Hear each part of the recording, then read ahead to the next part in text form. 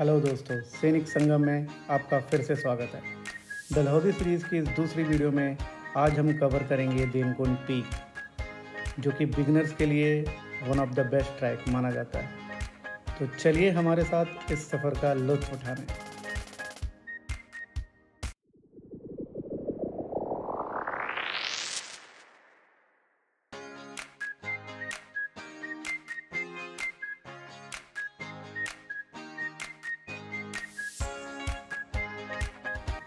गांधी चौक पे हमारा होटल था। यहाँ से करीब 15 किलोमीटर दूरी पर देनकुंड पीक का स्टार्टिंग पॉइंट है। जैसा कि आप मेरे साथ देख पा रहे हो, ये रास्ता आपको अतुलनीय लैंडस्केप ऑफ़र करने वाला है।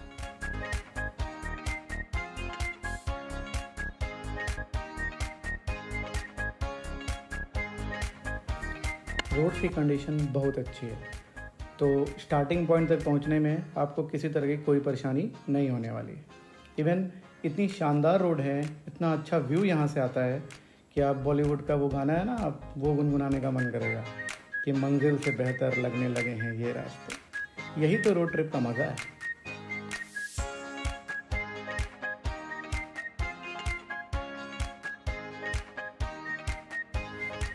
दोस्तों, आज की हमारी ट्रैकिंग का समिट पॉइंट डलहौजी का हाईएस्ट पीक है, जो कि 2755 मीटर की ऊंचाई पर स्थित है। तो यहाँ से आपको पूरी वैली का अल्टीमेट व्यू मिलने वाला है।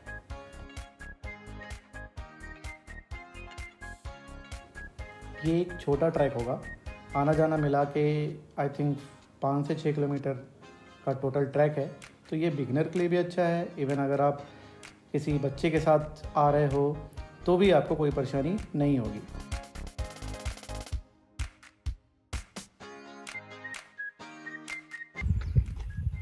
दोस्तों तो हम तीन कुंड आ गए और जहाँ से हमने लास्ट वीडियो बनाया था दलहौजी से वहाँ से हमें ऑलमोस्ट 45 मिनट लगा यहाँ पे। तो इधर air force area yes this is provided area और ये है एंट्री पॉइंट ये है हमारी ट्रैकिंग का फ़र्स्ट स्टेप यहाँ से ऑलमोस्ट थ्री किलोमीटर की ट्रैकिंग जितना मैंने पता किया है। सो so, स्टार्ट करते हैं। बहुत ही अच्छा वेदर हो रहा है। ज़बरदस्त। सो लेट्स गेट स्टार्टेड है। स्टार्ट हो गया है। और जैसा कि आप देख रहे हो, काफ़ी पक्की ट्रेल बनाई हुई है। तो ज़्यादा दिक्कत नहीं है। आप नॉर्मल शूज़ पे भी ट्रैकिंग कर सकते हो, जैसा मुझे लग रहा है अभी। तो ये देखो आप, गज़ब का नज़ारा है। पक्की ट्रेल्स हैं, शांत सा मौसम है। सो अच्छा लग रहा है।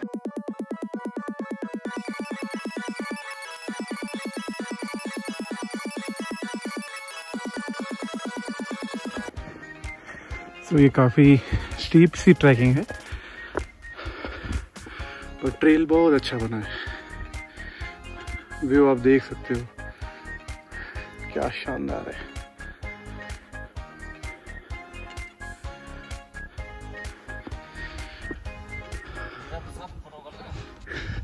नहीं भैया, अभी नहीं करना है। सो यहाँ पे आपको खरगोश और सारी चीज़ें मिल जाएँगी। अगर आपको वीडियो शूट कराना है फ़ोटो शूट कराना है, और अब आप जैसे कि देख सकते हो, यहाँ से 1.3 किलोमीटर्स है।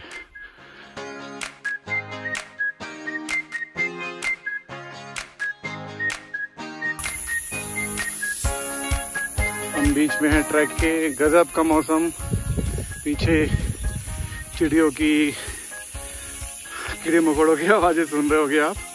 और अब 900 मीटर बचा है ट्रैक। और बहुत ही अच्छा कोई है ही नहीं यहाँ पे। मतलब अकेले आप पीसफुल चाहते हो और ये चाहते हो कि नो, कोई वायरस के इन्फेक्शन का डर ना हो और कुछ ना हो तो बहुत ही कोई आज दूर दूर तक आपके आसपास नहीं है। बस आप जिसके साथ आए हो, वो आपके आसपास होंगे। बाकी कुछ है ही नहीं। पूरी वादी, पूरी वैली सन्नाटे में है। आप इंजॉय करो इस ट्रैक को। अब तक बहुत मज़ा आ रहा है। और ठंड भी है।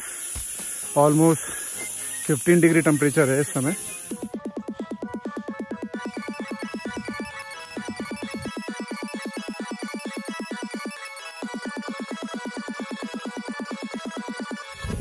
अब आई थिंक हम four hundred five hundred metre की दूरी पे होंगे। बीच में जो ट्रैक है, वो थोड़ा सा डाउन भी जाएगा और बीच में दो जगह कच्चा रास्ता भी है तो आप कच्चे रास्ते पे कंफ्यूज मत होना और मेन पक्का रास्ता ही पकड़ के चलना। तो अब मैं ऊपर पहुँच के फिर वीडियो बनाता हूँ, कोई है ही नहीं यहाँ पे, इसलिए थोड़ा अंदाज़ा भी नहीं लगता कभी कभी लगता है भटक तो नहीं है। बट आप मेन रास्ता पकड़ोगे तो कोई इशू नहीं होगा।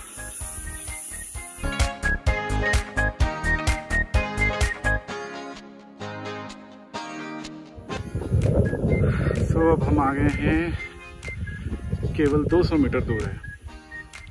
समिट पॉइंट, जय माँ पोहलानी देवी। और बहुत ही अच्छा ट्रैक है। बीच तो थोड़े बहुत कच्चे रास्ते हैं बट वो बहुत थोड़ी दूर के लिए। बहुत ही शानदार सा मौसम है। थोड़े बादल और कम होते तो शायद व्यू और अच्छा मिलता। बट अभी नेचर हमें जो ऑफ़र कर रहा है वी आर इंजॉइंग और ज़बरदस्त का मौसम है और इवन कहने को ये थोड़ा सा छोटा सा ट्रैक है। बट लॉकडाउन ने हमारे शरीर पे जो असर किया है ना, उसका असर देख रहा है। इवन इस छोटे से ट्रैक पे भी हम, हमारी एनर्जी अब तक लूज हो चुकी है। बट मज़ा आ रहा है।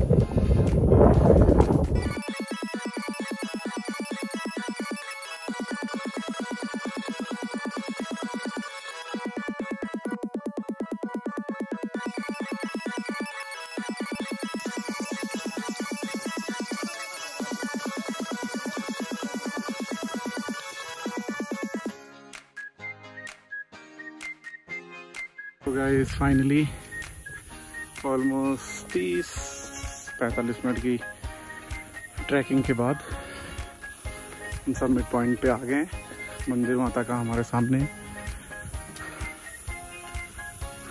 बहुत ही सुंदर सा है। अभी मैं मंदिर की और अच्छे से व्यू कैप्चर करूँगा। बट यहाँ हमारा ट्रेल एंड करता है। जय माता दी।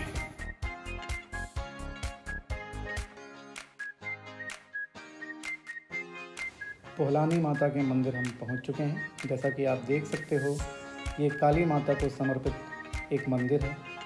पोहलानी देवी को पहलवानों की देवी कहा जाता है। जैसा कि मैं लोकल से जब बात किया तो मुझे पता चला।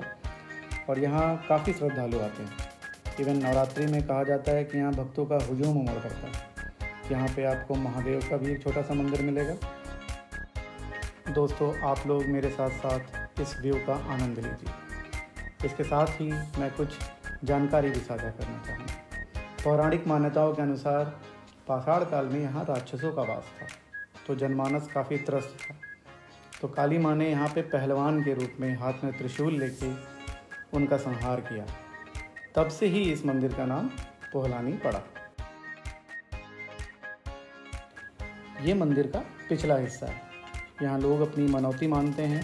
और जैसा कि मैंने अभी आपको बताया था त्रिशूल लेके माँ प्रकट हुई थी तो यहाँ त्रिशूल जो है, हिंदू मान्यता के अनुसार निशान के तौर पर चढ़ता है। जीवन की भागदौड़ के बीच मानव समय थम सा जाता है यहाँ। माता की आरती, महादेव के श्लोक और मंदिर में यज्ञ अनुष्ठान की ध्वनि निश्चित ही आपके अंतर्मन में एक ऊर्जा का संचार करती है। जीवन पर्यंत अनुभव के लिए यहाँ ज़रूर हैं आप मेरे साथ साथ यहाँ के असीमित मनमोहक दृश्य का आनंद लीजिए।